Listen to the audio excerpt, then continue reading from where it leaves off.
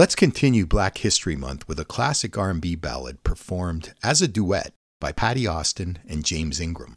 Written by Rod Temperton, Baby Come to Me is a smooth and romantic ballad that showcases the vocal chemistry between these two incredible singers.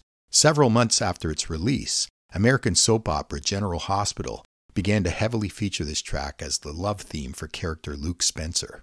Its chart success eventually led to Austin and Ingram both receiving Grammy nominations.